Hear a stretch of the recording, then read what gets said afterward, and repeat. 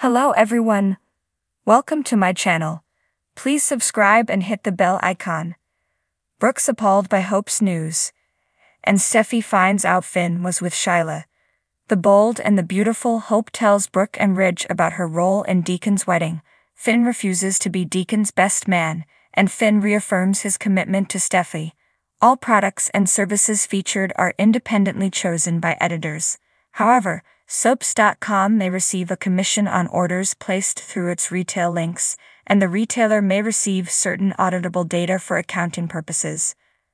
At Forrester, Hope defends Deacon caring for Shyla. Brooke exclaims that Shyla has brought misery and violence to their lives.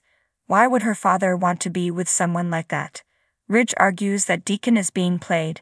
Brooke hollers, she can't be trusted. Steffy agrees, yes, and adds, and I don't trust anyone who thinks she can be. She doesn't care what Deacon does as long as Shyla and anyone who supports her stays away from Finn. Brooke understands Hope wanting to support her father, but in this case, Ridge thinks she should just stay away from him. And Shyla, Steffy says that's what Finn is going to do. Ridge thinks Deacon should too, but that's not going to happen. Hope says Deacon is devoted to Shyla. Brooke thinks she should put her foot down. Deacon's exposing her family to danger. She gops, What about Beth? You don't want to expose her to Shyla. Hope says of course not. She'll always do her best to protect the children. Steffy fumes, My children will never be around Shyla. If Deacon's foolish enough to marry that woman, she doesn't care. Her focus is her husband and kids. He knows to stay away from that psychopath. Hope muses that she gave her husband an ultimatum. Steffy says damn right she did.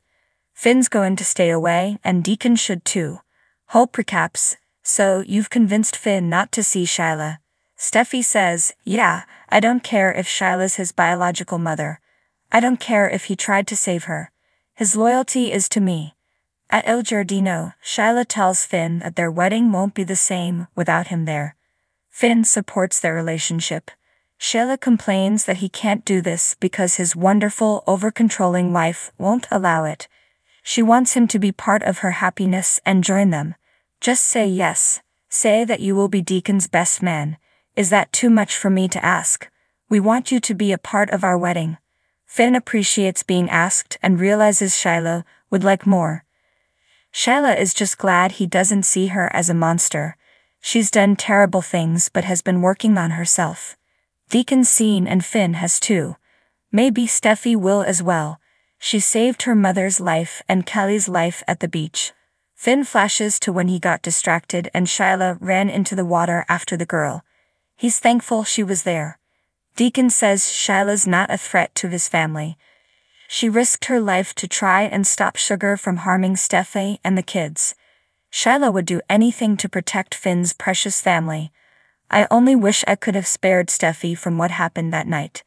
She pleads that their wedding will be simple, maybe at the beach.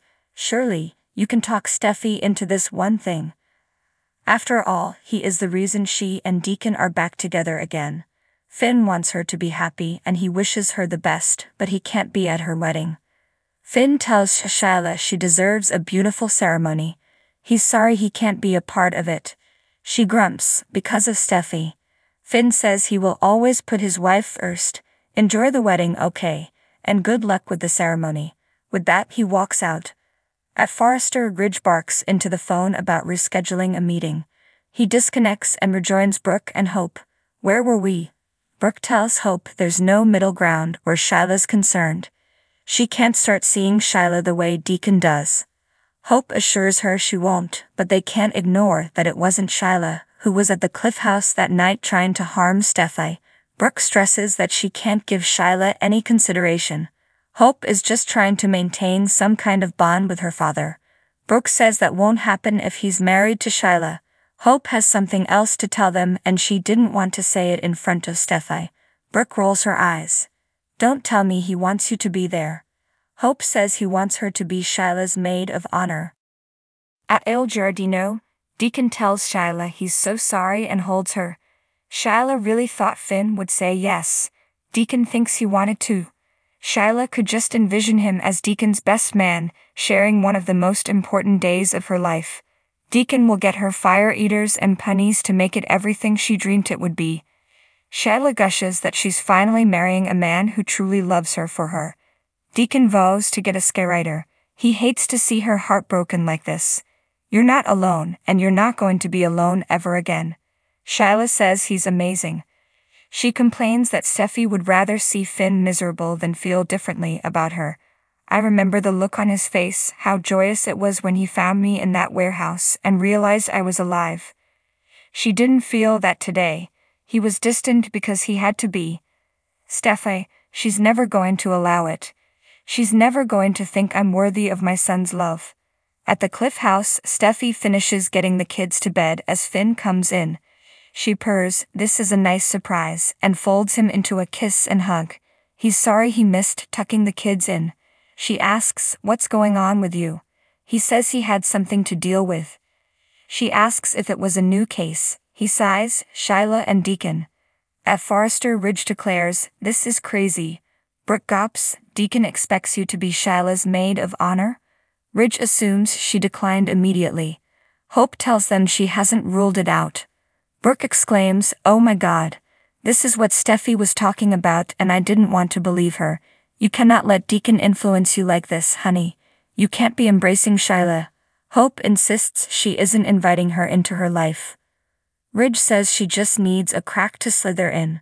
Brooke declares, no way.